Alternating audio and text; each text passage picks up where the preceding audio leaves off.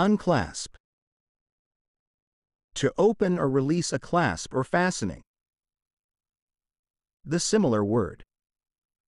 Release. Example sentence.